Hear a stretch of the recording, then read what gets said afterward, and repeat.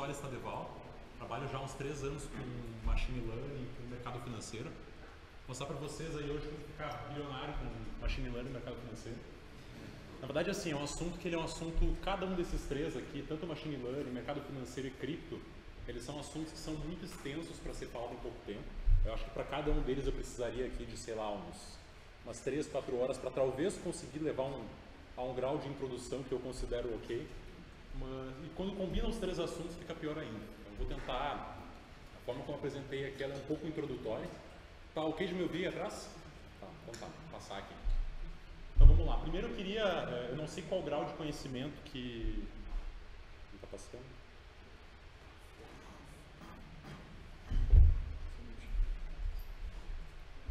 Tem que dar um toque?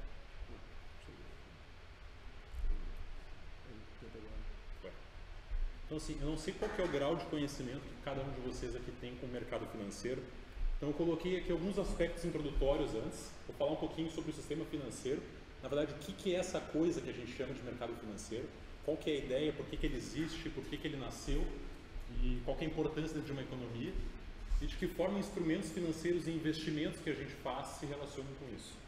Depois disso, eu vou falar um pouquinho sobre o que, que é o trading quantitativo, que acho que é a área onde a gente consegue efetivamente encaixar o machine learning, análise exploratória de dados e matemática mesmo para operar instrumentos no mercado financeiro e fazer investimentos com uma outra ótica que outras pessoas não fazem. Vou falar um pouquinho sobre o meu projeto atual, que é a Asimov Trading, que é inclusive os, os, os pessoal que participa comigo da empresa está aqui também. E no final falar um pouquinho sobre machine learning aplicado ao trading. E eu vou entrar nos aspectos de uma modelagem, mais ou menos a ideia por trás de uma como é que a gente modelaria um problema de machine learning uh, utilizando algoritmos supervisionados uh, para mercado financeiro. Um pouquinho de random forest, pegar aí a, a carona com, com Israel e depois falar um pouco sobre deep reinforcement learning, só um pouco da ideia, porque é um algoritmo que eu particularmente sou muito fã. Então vamos lá, mercado financeiro. Qual que é, qual que é a ideia? Dentro de uma economia, de um país, ou Brasil, qualquer outro país que seja, a ideia do sistema financeiro ele é permitir que tu consiga fazer melhor alocação do capital disponível. Tá? Então ele sempre começa, a ideia básica por trás do mercado financeiro começa quando tu tem dentro do mercado algum elemento, um elemento que a gente chama aqui, que eu coloquei como superavitário, são pessoas físicas ou bancos ou, enfim, algum, algum elemento que efetivamente ao longo de um período acumule capital. Quando esse cara tem capital acumulado, muitas vezes ele não sabe o que fazer, ele vai atrás de investimentos. Vai, vai atrás de não deixar o capital parado e colocar esse capital emprestar para quem consiga fazer alguma coisa por ele. Ou o cara pode também pegar o capital e empreender. Mas naturalmente sobra capital eventualmente ao longo, da, ao longo do tempo. Então, ao mesmo tempo, também tem pessoas que são deficitárias, que elas precisam de capital, podem ser empresas, podem ser pessoas físicas com dívida, podem ser banco, pode ser o governo, naturalmente, eventualmente acontece das pessoas que precisam capital. Se não existisse um mercado financeiro para permitir o casamento desses dois, a economia não se desenvolveria tanto. A gente não teria o que a gente chama de crédito. Tá? Então, para permitir que esse casamento aqui aconteça e que o capital disponível numa economia seja melhor utilizado, nascem aí o que a gente chama de intermediadores, são pessoas que vão, são elementos que vão permitir que esse cara encontre esse cara o recurso possa ser melhor alocado e a economia como um todo cresça a uma velocidade muito maior. Então, para o PIB de, uma, de, um país, ou de uma. Enfim, para o PIB no geral, o mercado financeiro é muito importante que ele aconteça. Então, a definição dele, como eu já tinha comentado, é dentro de uma economia, é ele quem garante o aumento da eficiência do uso do capital disponível é um ambiente de negociação do que a gente chama de produtos financeiros, ou seja, o dinheiro vai de um lado até a outra ponta através do que a gente chama são instrumentos financeiros. Tá? Então vou dar alguns exemplos aqui. Uma forma fácil de ver isso é através de um gráfico de risco e retorno. Qualquer investimento que a gente vai fazer, desde a gente colocar o dinheiro na poupança até empreender ou algo do tipo, ele cai em algum ponto dessa reta que a gente chama de reta de risco-retorno. Ou seja, para a gente conseguir mais retorno no investimento que a gente faz, a gente obrigatoriamente tem que correr mais risco. Isso é uma, é uma, uma obrigação. Tá? Aqui eu coloquei alguns tipos de instrumentos financeiros possíveis, que eu acho que vocês, eu não sei se, quantos vocês aqui investem ou têm algum tipo de experiência com o mercado financeiro, só para me ter uma ideia. Acho que 50% talvez. Então aqui eu tenho uh, instrumentos aqui que acho que todo mundo conhece, poupança é um deles. Poupança basicamente eu estou emprestando dinheiro para o banco, o banco vai me pagar ali uns 0,4% ao mês, 0,5%, o banco pegar esse dinheiro e emprestar para outra pessoa. O banco é o intermediador, outras pessoas que precisam de crédito vão ser naturalmente os, os deficitários e nós que colocamos a poupança vamos ser os investidores. Tem três classes de ativos que eu coloquei com pontinhos azuis aqui que são tipos, são investimentos de renda fixa. São instrumentos que a gente, no momento que a gente faz a aplicação, a gente já sabe quanto que a gente vai receber no momento da, da, do resgate, ou a gente tem uma ideia. Então, poupança é o mais, mais simples, o mais básico aqui. Eu coloquei títulos públicos, que é quando a gente empresta dinheiro para o governo, através do Tesouro Direto, por exemplo. E aqui eu tenho debêntures e fundos de renda fixa. Debêntures aqui são quando a gente empresta dinheiro para empresas. Existem algumas empresas que conseguem criar títulos que eles chamam de debênture, que as pessoas naturais, pessoas normais, conseguem comprar e financiar, financiar essas empresas. Tá. Fundos de investimento, tanto de renda fixa quanto de multimercado e fundos de ações, são uma classe de ativos onde a gente, vamos supor que todo mundo aqui, a gente queira juntar o nosso capital e terceirizar essa gestão para uma outra pessoa que a gente considere adequada para fazer essa, essa aplicação para a gente. Então, isso constitui um fundo de investimento. A gente está terceirizando o processo de gestão para alguma pessoa que todos nós aqui concordamos que é uma pessoa que é mais apta a gerir o dinheiro para a gente.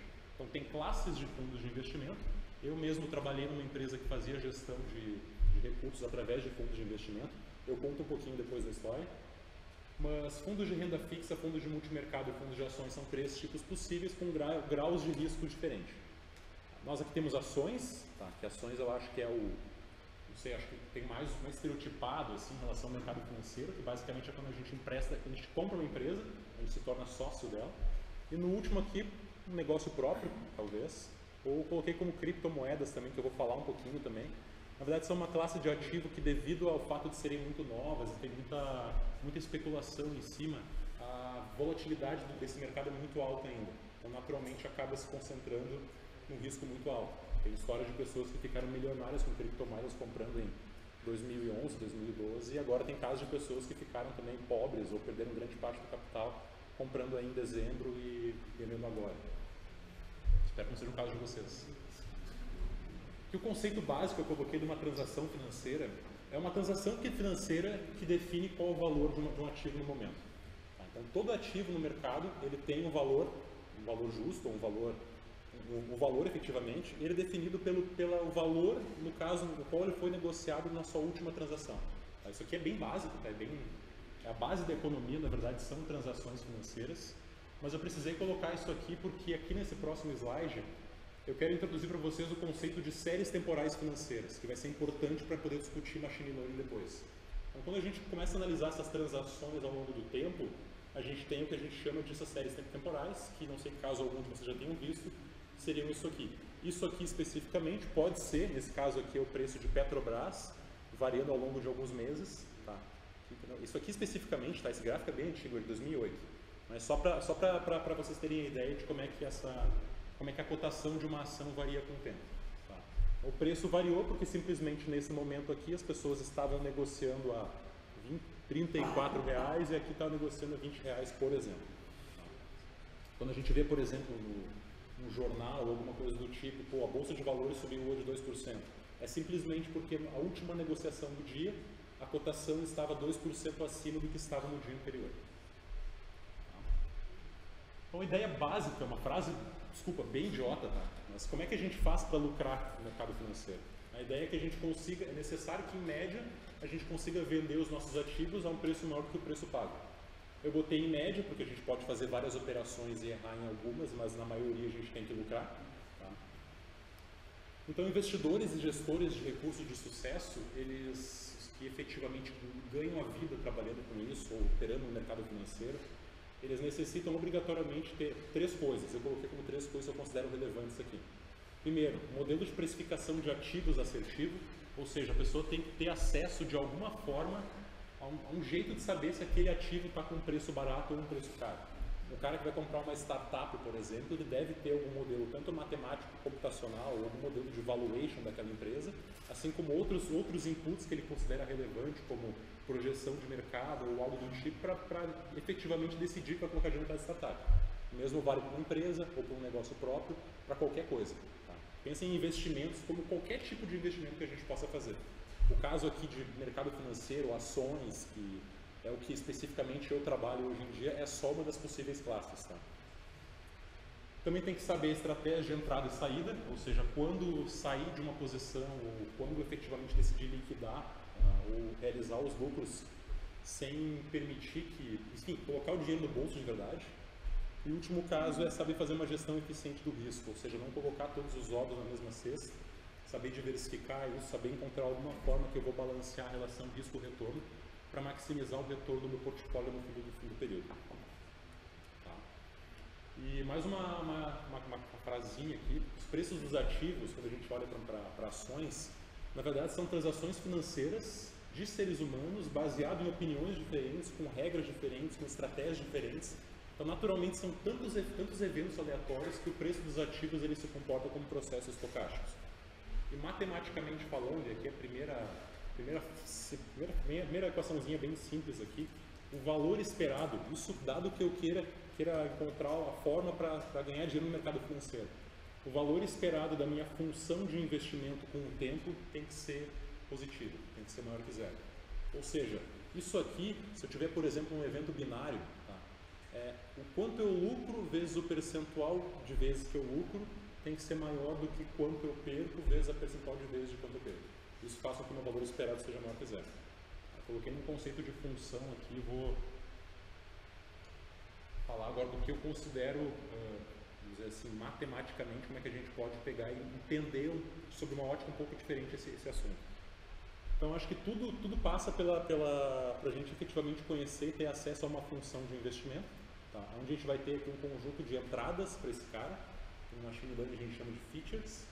Tá? Então, isso aqui, se a gente pegar um gestor de, gestor de sucesso, grande parte do Brasil, por exemplo, hoje, o que se faz é gestão discricionária. Seria assim, tem lá, supor que nós aqui terceirizamos para um fundo de investimento, os caras vão receber o recurso, vão contratar economistas, vão ter acesso a relatórios de mercado, vão ter acesso a, a pessoas, ou, enfim, a, a, cientistas políticos, ou vão se cercar do máximo possível de informações para a sua equipe de investimento decidir qual é o preço justo da coisa e efetivamente ir no mercado fazer aquela, aquela, aquela aplicação. Então, naturalmente, o que está acontecendo, esse modelo de investimento aqui, quando a gente investe de forma discricionária, compra uma ação porque leu um relatório de alguém ou algum gestor faz alguma coisa do tipo. É um modelo que tem como input variáveis econômicas, por exemplo, cenário político, demonstrativo financeiro, e a função reside na cabeça do cara que está decidindo efetivamente como, como operar. Tá. Mas também podem ser de outras formas. Tem gente que opera no mercado financeiro usando o que se chama de análise técnica. Opa, Uh, que basicamente a análise técnica seria tu tentar prever o preço, que aqui no caso essa previsão que eu ia comentar aqui, tu prever o preço com, por exemplo, um dos seus inputs pode ser o próprio preço, ou seja, pode ser o preço já subiu muito, agora eu vou vender porque já subiu demais, ou seja, meu, a minha função de investimento está levando em consideração a própria série de preços, pode ser uma possível ideia. E aí, para poder falar das, da, da minha empresa e de trading quantitativo, trading quantitativo, na verdade, é quando é uma, um método de investimento na qual a gente tenta pegar aquela função e explicitar. Ou seja, através de dados, através de modelos de machine learning, pode ser, ou através de, enfim, qualquer ferramenta matemática, estatística que a gente queira utilizar, a gente tenta efetivamente descobrir como é que o mercado se move. Encontrar variáveis sólidas e, e enfim, é, condições estatísticas sólidas que consigam efetivamente fomentar e dar uma, dar uma, uma segurança estatística para o que eu estou fazendo. Então, por que que eu, como é que eu entrei nesse ramo, na verdade? Essa aqui agora é a empresa que eu trabalho. Tá? É a empresa, na verdade, que eu sou cofundador junto com outras, outras pessoas, não sei quantos a gente está agora. Eles estão aqui, inclusive, depois eu apresento. E eu trabalhei durante três anos numa gestora de recursos financeiros chamada Quantitas, que acho que em Porto Alegre aqui é uma das maiores. Lá chegou a fazer gestão. Quando eu entrei, a empresa fazia gestão de 25 bi de reais. E dentro da casa, a gestão dos recursos era toda feita através de estratégias discricionárias. E aí eu e meu colega, o Adriano Soares, a gente começou a montar o que seria a mesa quantitativa da empresa. Começamos a desenvolver estratégias analisando dados, analisando dinâmica de mercado, como é que os mercados eles se comportam, formulando hipóteses, testando as hipóteses nos dados e montando modelos que a gente construía programas de computador que na prática iam lá e iam operar aquilo que a gente queria ver. Há uns seis meses atrás a gente decidiu sair, montar essa empresa, que é uma empresa que segue na mesma linha, tentando desenvolver estratégias de, de investimento, só que focado no mercado de criptomoedas. A gente não tinha conhecimento nenhum em criptomoedas, só que o mercado de criptomoedas é um mercado que ele se comporta, vamos dizer assim, para a gente, as dinâmicas que eram relevantes para a gente, como oferta e procura, movimento de preços, análise de séries temporais, estatística, todo o bagageiro que a gente tinha aqui, a gente conseguiu montar na Zimov. Hoje é uma empresa que a gente pode se considerar um laboratório de estratégias quantitativas. Tá? É, a empresa vive, já consegue sobreviver simplesmente com o lucro das próprias estratégias. A gente quer ampliar bastante isso aqui, quer tocar outras, outras possíveis linhas de, de pesquisa lá dentro. A gente está recém começando, a gente está com seis meses de empresas, de empresa, e Machine Learning ainda não é a principal ferramenta que a gente está utilizando, é uma das. Para finalizar, para definir só o, trading quantitativo, a ideia dela é quando consiste no desenvolvimento de estratégias de investimento sistematizadas, baseada em análises matemáticas de séries históricas de transação. Então, são, uh, tem necessidade de sólidas evidências estatísticas de dados para poder validar a estratégia. Aqui é um exemplo do que a gente faria. Pegaria um input de dados qualquer aqui, tentaria a priori, poderia traçar uma, uma, um preconceito que a gente tem sobre como o mercado como o mercado funciona, tentar validar isso em dados e depois tentar replicar e efetivamente colocar capital de verdade e ganhar dinheiro.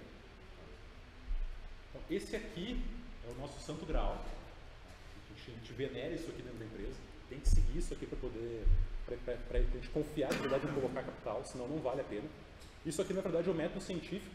Tá? O método científico, eu acho que ele é a base para todo e qualquer conhecimento científico desenvolvido ao longo da história. Qualquer área do conhecimento, biologia, química, qualquer coisa, segue isso aqui. E a ideia parte do princípio onde eu tenho uma observação sistemática controlada sobre alguma coisa. Então, por exemplo, como é que eu faria para desenvolver uma estratégia quantitativa usando esse método aqui? Partilha com uma hipótese, vamos supor que eu tenha a hipótese de que Petrobras e o preço do petróleo têm que andar junto. E eu, tô, eu vou lá e vou fazer uma hipótese dizendo que ah, eu acho que o preço, de, o preço da, da Petrobras, uma estratégia possível para isso seria, quando o preço do petróleo cair, o preço da Petrobras cair muito mais do que o preço do petróleo em um certo dia, eu compro a Petrobras. Porque o preconceito por trás da estratégia é de que o movimento foi exacerbado. Então, a ideia da estratégia seria isso. Então aqui estou nesse ponto, observação e tenho fatos verificáveis, que eu posso ter formulado isso olhando dados históricos, e essa hipótese tem que ser testável. Tá? E esse testável a gente testa em séries de dados. Séries de dados que a gente procura que sejam bem grandes, a gente vai atrás de séries de dados muitas vezes de anos, tá? para poder validar aquela hipótese e ver várias vezes aonde aquela minha, minha hipótese ela foi, onde ela aconteceu. Dado que eu consiga testar e os meus dados dão ok para minha hipótese, eu tenho uma teoria científica. E no caso, a partir desse momento aqui, a gente conclui, monta uma, uma estratégia e coloca dinheiro de verdade. E a partir daquele momento que eu concluí e coloquei dinheiro, esse teste está rodando. Quanto mais ela roda, se ela começar a ganhar muito dinheiro, eu estou caindo nesse caso, ou seja, os resultados estão corroborando, então minha teoria está sendo solidificada. Do contrário, se eu começar a perder dinheiro e o mercado começar a não respeitar mais essa regra que eu formulei, muito provavelmente vou ter que reciclar a hipótese e vou ter que descartar. Essa é uma forma, que eu falei agora, de ganhar dinheiro no mercado financeiro com estratégias de quantitativas. O machine learning, eu, eu, particularmente agora, a gente tem utilizado bastante ele nesse ponto aqui. A gente coloca uma série de features que a gente não sabe a priori qual que é o efeito no preço. E eu vou mostrar um exemplo depois aqui em Jupyter, em Jupyter para mostrar como é que a gente poderia utilizar para efetivamente tentar fazer uma estratégia de day trade. Machine Learning, vamos lá. Então, vou só falar um pouquinho. É, esse livro aqui é um livro que eu recomendo para caso alguém se interesse. É o meu livro preferido. Esse cara aqui é um, ele é um pesquisador, mas ele, ele, é tanto, ele é da academia quanto da, quanto da vida real. É, ele é head de Machine Learning da EQR Capital, que é uma gestora de recursos que mais, tem, 13, tem mais de 13 bilhões de dólares sobre gestão. E ele fala sobre, ele é um livro bem recente, de 2017, ele fala os principais tópicos de machine learning aplicados para finanças, os problemas que a gente teria quando a gente tem, as coisas que a gente tem que se preocupar. E a vida desse cara, eu acho que todos os artigos que ele já publicou são em torno de overfit. Ele é muito, ele bate muito na tecla do overfit para a gente evitar ao máximo isso, principalmente em machine learning, porque isso pode levar à ruína. Porque na diferente do machine learning, quando a gente overfita alguma coisa e bota dinheiro, a empresa pode falir. O fundo de investimento pode quebrar. A gente tem que ter muito cuidado com isso, porque muitas vezes as pessoas que trabalham com machine learning, elas estão diante de uma black box. Muita gente ainda não sabe efetivamente como é que as coisas estão saindo. Tem algoritmos que acabam uh, fazendo com que se saia meio black box mesmo as coisas. Então, tem que se cuidar. Eu falo um pouquinho sobre como é que a gente poderia fazer um passo a passo de modelar, modelar uma estratégia usando um algoritmo de supervised learning. Eu aqui usei, eu escolhi o, o Forest. E só para exemplificar, caso alguém não conheça ainda, uh, a ideia de, uma, de técnicas de reinforcement, de supervised learning, na verdade, é a gente pegar e apresentar para o nosso, nosso algoritmo e, e tal, algum conjunto de dados pré-classificados.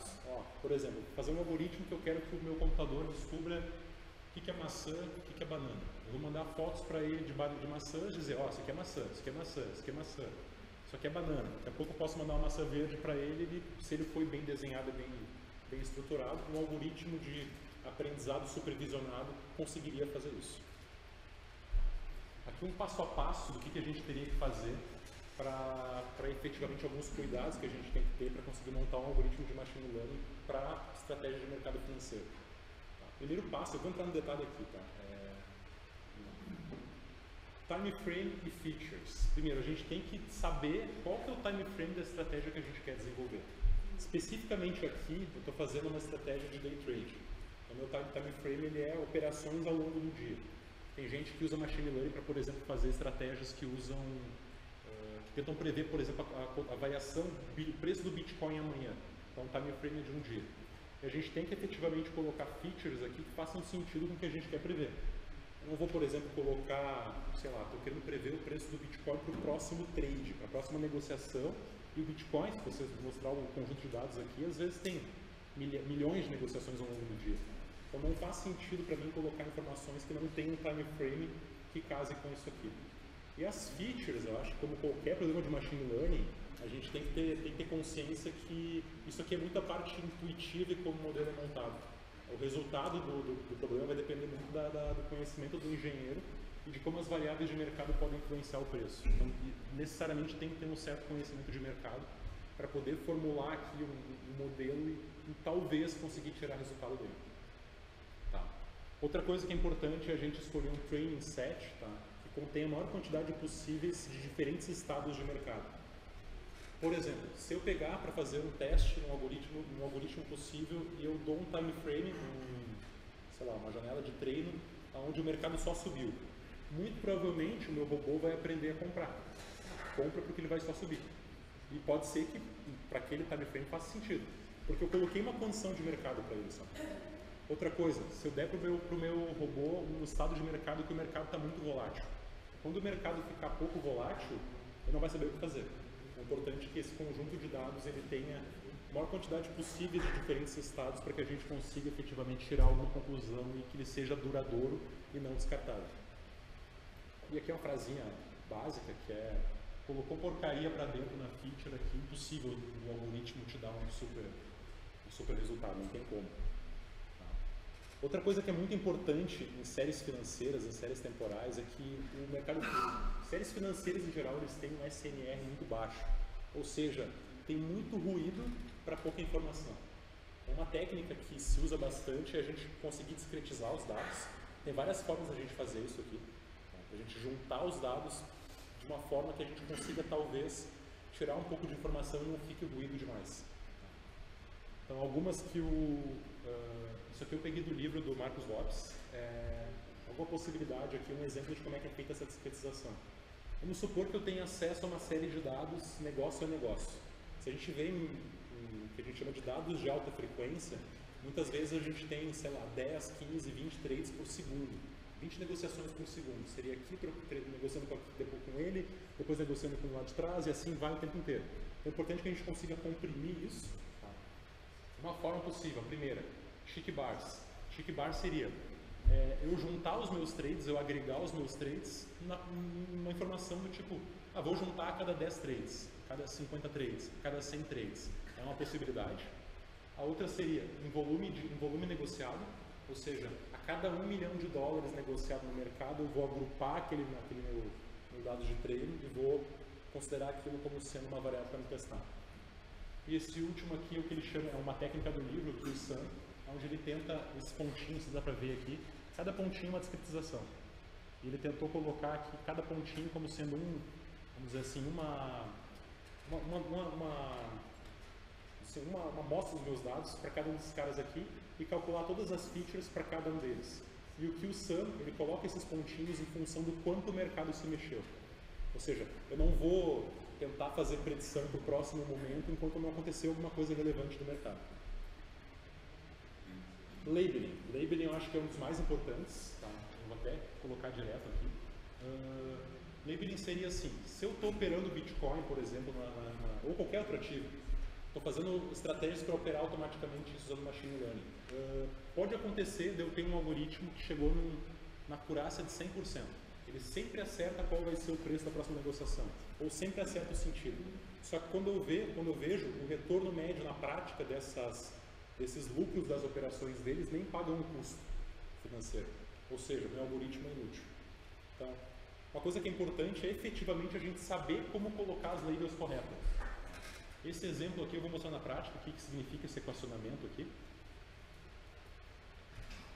Aqui é, são imagens também que, é, que, exemplificam um pouco disso. Esse pontinho aqui, ele seria uma, da, uma dos, meus, dos meus dados na, na janela de treino.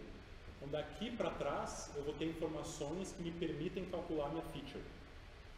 E daqui para frente eu vou calcular qual que é a label, qual que é o y efetivamente desse dado.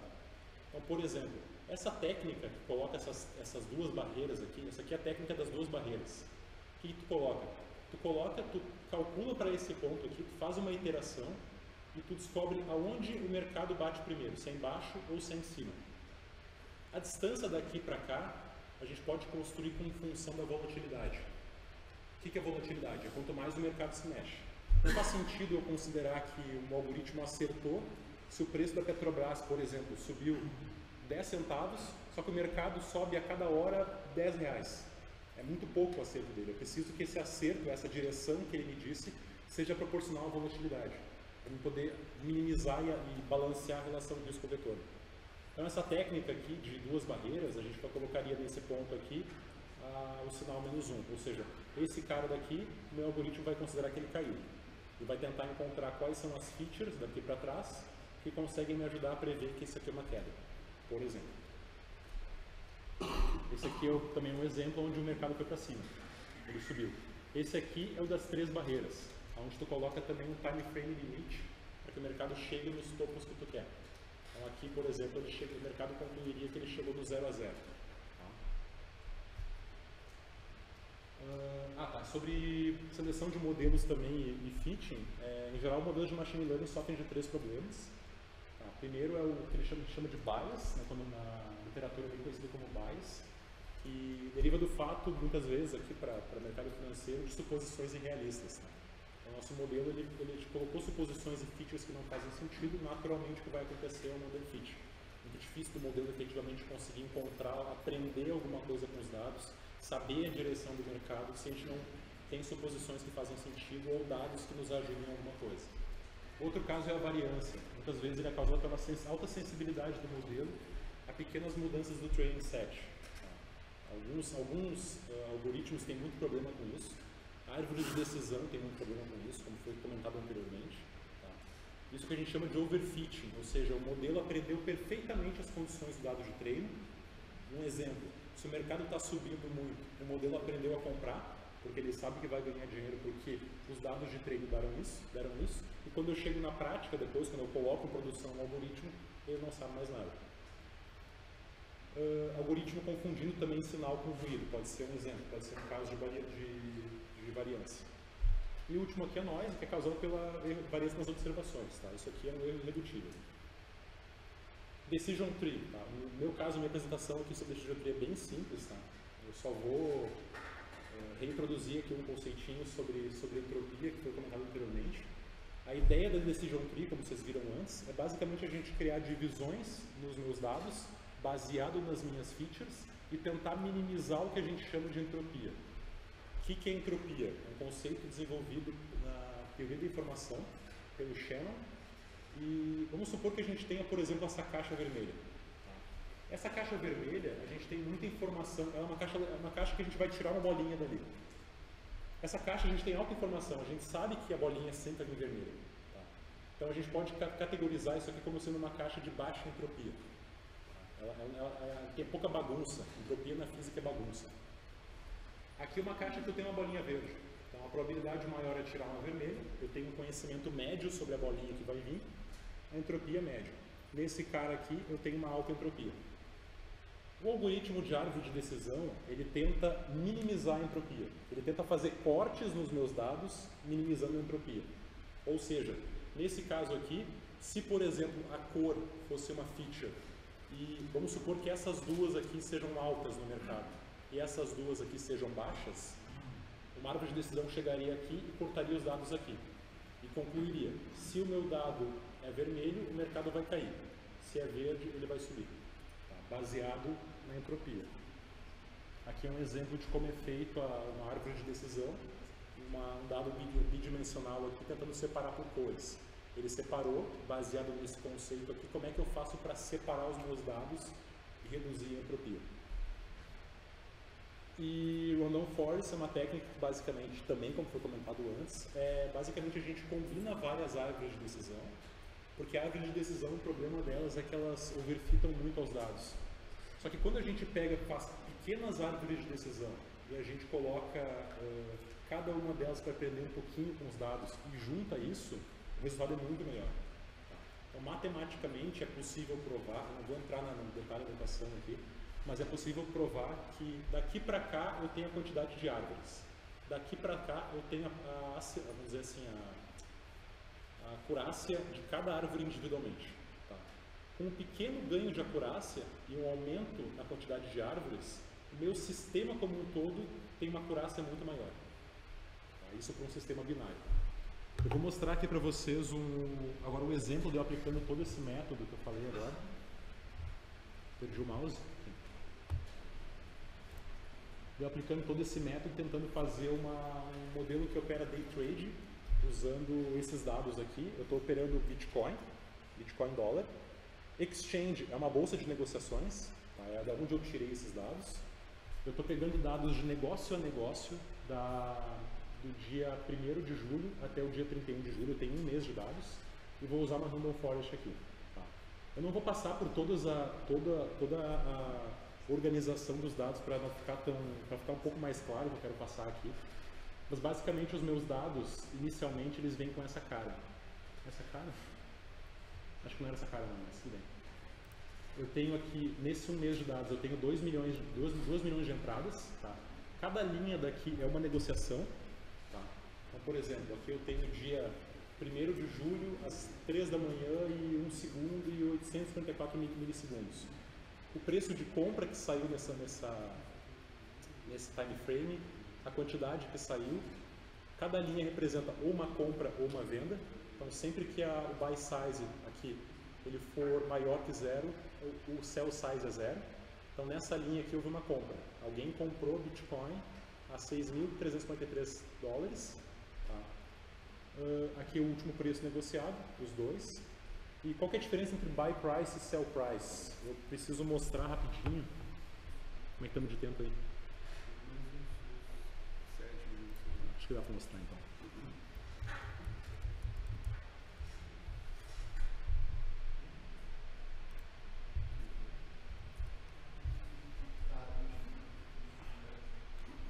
Essa aqui é a principal bolsa de, de, de bolsa de criptomoedas do mundo, é, que tem um volume financeiro mais alto. Isso aqui é a base de como funciona o mercado financeiro. Aqui eu tenho pessoas que querem comprar o ativo, registro as intenções de compra, pessoas que querem vender, colocam a sua ordem de compra aqui, as pessoas colocam através do preço. O Bitcoin está caindo ainda, coitado. Aqui eu tenho as negociações acontecendo, ou seja, é muita negociação, bastante coisa. E eu quero tentar para cada negociação dessas, eu quero fazer uma previsão de qual vai ser o, qual que é a melhor, o que, que eu tenho que fazer para ganhar dinheiro com isso. E aqui eu tenho a variação do tempo. Tá. Os verdinhos aqui são pessoas que compraram e o vermelhinho são pessoas que vieram aqui e venderam. Tá? Então, para quem nunca viu um mercado financeiro, isso aqui que eu mostrei serve para ações, serve para títulos públicos, serve para Bitcoin, para qualquer coisa. Essa é a mesma lógica de qualquer mercado financeiro do mundo. Então os meus dados estão aqui. Eles são 2 uh, milhões de linhas. Eu vou discretizar esses dados. Eu não vou entrar no detalhe de o que, que eu fiz aqui para organizar eles, tá? Mas a cara final dos dados é essa aqui. Eu juntei os dados, a cada conjunto de 50 mil dólares negociados, eu peguei fiz uma concatenação, pressionei os dados, coloquei para cada, cada negócio, juntei essas informações e coloquei as informações dispostas aqui. Então eu tenho o preço de compra no último preço de compra no fim do somatório dos 50 mil dólares, o último preço de venda, a quantidade comprada nesse intervalo de tempo, quantidade vendida, preço máximo, preço mínimo, quantos trades aconteceram nesse, nesse tempo. Aqui um time shift que eu fiz, quanto tempo durou para vir de um grupo de trades próximo para outro grupo de trades. Aqui o retorno percentual e aqui o quanto o mercado em absoluto se, moveu. Por que eu coloquei todas essas coisas? Porque eu, a priori, eu, eu, eu imaginava que eu poderia construir um modelo que teria algum tipo de poder preditivo usando combinações dessas variáveis. Então, a partir de tudo isso aqui, eu vou montar as minhas features. Minhas features, vamos lá. A partir daqui, eu peguei e coloquei. Eh, eu agrupo os meus dados de acordo com essa, essa lista aqui. E eu faço junções do sentido. Por exemplo, esse aqui é o somatório dos retornos absolutos. Então, somatório de um, um movimento, um, um time shift, dois time shifts para trás, três, cinco e assim por diante. Então, eu somo qual foi o retorno absoluto do, do mercado. Se o mercado caiu muito ou subiu muito, essa informação, essa feature aqui em tese vai conseguir me ajudar. Ele vai conseguir me ajudar até para saber se o mercado está caindo e depois subiu, ou se subiu e depois caiu, se ficou de lado. Em tese, as informações que eu preciso, preciso para montar essa ideia estão aqui. E a ideia é tentar predizer qual vai ser o próximo, se eu vou bater no take profit ou vou bater no stop loss. São aqueles dois pontos que, se ele mais sobe ou se ele mais cai. Aqui eu vou ter retornos percentuais, que eu também imaginei que pudessem ser relevantes. Aqui eu fiz um somatório de, de tempos, ou seja, lembra que tinha um, um diferencial entre cada time shift, tinha 50 segundos, 40 segundos. Se o mercado está andando esses esses grupos de 50 mil dólares muito rápido, essa variável aqui vai me dizer que, a, que a, talvez o mercado esteja com mais negociações do que, do que necessário. Talvez seja uma feature relevante. E aqui no final eu tenho um somatório de quantas pessoas foram ao mercado comprarem nos últimos, nos últimos segundos e quantos no mercado foram, foram vender. Isso para tentar pegar algum tipo de tendência. Tá. Então combinei todas essas, essas variações aqui, eu criei essas features aqui.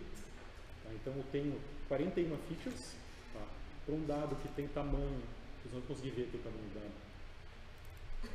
Rapidinho.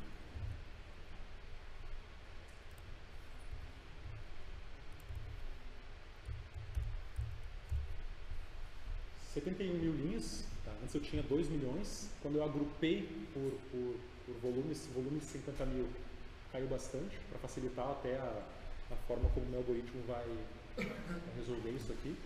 Esse é o meu algoritmo de labeling. Para cada pontinho, eu estou vendo se ele subiu ou se ele caiu. E a distância para considerar se é uma subida ou descida, eu fiz em função da volatilidade. Então, tem um modelo de volatilidade que se o mercado está se mexendo muito, para ele considerar aquele ponto como sendo uma alta, ele precisa andar mais e cair mais por contrário. Então aqui eu peguei fiz um pré-processamento dos meus dados, peguei a biblioteca scikit-learn, decidi que eu vou pegar os meus dados. Eu tenho um mês de dados. Eu peguei 60% dos meus dados como os dados de treino e 40% como dados de teste. Para testar a acurácia do modelo. Construí 100 árvores de decisão. Tá? Utilizei o critério de entropia, também tem um critério de Gini possível. Coloquei que a cada árvore vai chegar no máximo até 10, até tamanho 10. Fiz a otimização e aqui eu calculei os resultados. Para mercado financeiro, o que, que significa isso aqui? Não sei se alguém se vocês conhecem, a, isso aqui é uma matriz de confusão. Basicamente, a gente está vendo aqui que como se fosse qual percentual de dados que ele previu que era queda e foi queda, ou seja, que ele previu que o mercado ia cair e o mercado caiu, tá? e qual, qual percentual que ele previu que o mercado ia subir e o mercado subiu. Aliás, a matriz de confusão está aqui, desculpa. Essa é a matriz de confusão. É, quantos ele achou que ia subir, ia cair e caiu, quantos ele achou que ia cair e subiu, e vice-versa. E esses dados aqui, Precision, Recall, F1 Score, mais relevante deles para a gente é o Recall. Que o recall nada mais é do que qual percentual de vezes que o meu algoritmo disse que o mercado ia subir ou disse que ia cair efetivamente, o mercado efetivamente aconteceu aquilo, porque quando eu coloquei dinheiro. Não é, não é, não é problema o mercado subir ou estar tá de fora do mercado. O problema é eu colocar capital e o mercado cair. Aí é um problema. Independente da, da, da, métrica que eu esteja utilizando aqui, todas elas ficaram acima de 50%. E para tentar abrir um pouco essa black box, a gente pode, através da, da, da Forest, acessar um parâmetro que é chamado Feature Importance. Que para cada um dos parâmetros que eu coloquei, eu avalio isso aqui. Isso aqui nada mais é do que qual que é o ganho médio de informação que eu tenho cortando o meu dado nessa feature aqui. Isso leva em consideração aquele cálculo de entropia, simplificando, tá? Eu estou vendo quais são as variáveis que são mais importantes para fazer as minhas previsões. E no caso, o meu algoritmo ele viu que o retorno de um minuto, de um, de um time shift no caso, retorno de dois, os retornos mais curtos são relevantes, somatório de quantas pessoas compraram no último time shift é relevante, e o somatório de quantas pessoas, de quantas pessoas venderam também é relevante. Então, segundo esse algoritmo, vale mais a pena quando muitas pessoas estão comprando e comprar junto, dado essa, essa condição aqui de, de se os dados forem semelhantes à, à forma como se foi construído aqui dentro. Por exemplo, esse é um algoritmo que você poderia ser utilizado na prática para fazer uma estratégia de, de alta frequência, treinar no dia intradia. Só como eu falei anteriormente, não basta só o modelo de precificação, a gente também tem que ter acesso a um modelo de gestão de risco e de, de entrada e saída de mais qualidade. Falar simplesmente, agora só a questão mais da minha opinião, algo que eu acho como curiosidade.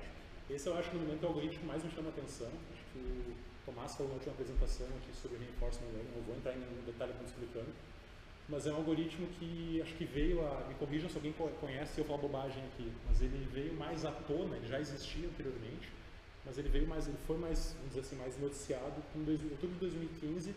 Teve uma empresa chamada Alpha, empresa DeepMind, desculpa, que depois foi adquirida pelo Google, desenvolveu um jogo que usa essa técnica de machine learning aqui para vencer o melhor jogador do mundo de Go, que é esse jogo complexo aqui que até então não tinha sido, não tinha sido Uh, nunca, nunca se fez um algoritmo, uma AI que conseguisse vencer isso. E essa empresa aqui fez utilizando Deep Reinforcement Learning. E aqui tem um outro artigo também, que, que foi, publicado em 2015, eu acho, onde os pesquisadores conseguiram fazer, com, com também com Deep Reinforcement Learning, uh, programar um computador que simplesmente recebe pixels da tela e consegue jogar Atari melhor que os seres humanos em todos esses níveis daqui para cima. E eles só perderam não conseguiram, não conseguiram ganhar nos níveis abaixo quando as recompensas, que eu já vou explicar um pouco da ideia, eram muito distantes. O que, que se trata o Deep Reinforcement Learning por que, que eu gosto dele? Porque para mercado financeiro a gente tem que tomar decisões. Para mercado financeiro, eu falo trade, para colocar dinheiro de verdade, saber se o preço vai subir, cair, gestão de capital, a gente tem que, tem que tomar ações. E esse é um algoritmo de machine learning que ele basicamente tu tenta otimizar o processo de tomada de ações levando em consideração o que a gente chama de ambiente. E a ideia, a ideia é o seguinte, a gente programa um, programa um software, enfim, que ele vai receber informações do environment, do ambiente, ou seja, quais as features que eu estou, onde que eu estou no mercado. Ah, o mercado subiu agora, o preço caiu, a outra Bitcoin no outro, do outro mercado subiu, o preço do dólar está assim, a Dilma falou agora, o Temer falou agora, tal coisa aconteceu. Ele pega todas as combinações de variáveis que a gente jogou para ele, combina tudo isso aqui dentro, Claro que não é tão simples, mas em tese, analisando tudo isso, ele consegue maximizar o que a gente chama de política de tomada de decisão. Ele efetivamente consegue, consegue operar no mercado e, em tese, maximizar o retorno dele. Eu acho que o mercado financeiro, eu especificamente não estou tocando na prática, ainda gosto, estou estudando muito sobre, sobre esse método, mas é um método que eu acho que é promissor para a aplicação de AI no mercado financeiro, assim como todos os outros já são. E só para colocar, porque antes era BIP, aqui é Reinforcement, o Reinforcement Learning leva a esse conceito e o Deep Reinforcement Learning é um tema acho que relativamente novo que tu combina uma Reinforcement Learning com o teu environment, ele sendo alimentado por uma Deep Neural Net, que está na moda, eu acho, todo mundo já deve ter ouvido falar de TensorFlow ou trabalhado com isso ou se interessado de alguma forma. E a combinação desses dois caras aqui pode nos levar a ter resultados muito diferentes para todas as áreas do conhecimento, inclusive no mercado financeiro. É isso aí, esse aqui sou eu. Esse aqui meus contatos, eu não botei QR Code. infelizmente, desculpa, mas é, pode pesquisar no LinkedIn aí, na, na, a gente tem uma página no LinkedIn sobre Asimov, mandar um e-mail para mim lá para trocar uma ideia também. E é isso aí. É isso aí.